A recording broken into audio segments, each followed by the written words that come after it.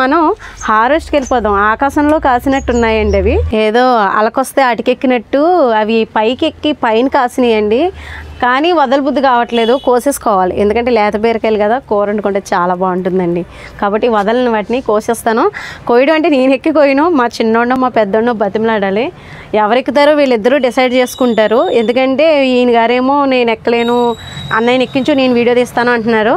ఎప్పుడు మీ ఇంట్లో అంతేనండి మా ఇంట్లో ఎప్పుడు వాదాలేమాట వీళ్ళిద్దరికీ కూడా నన్నదమ్ములు ఇద్దరికీ కూడాని. ఇరిగినా పర్వాలేదులే ఇంకా.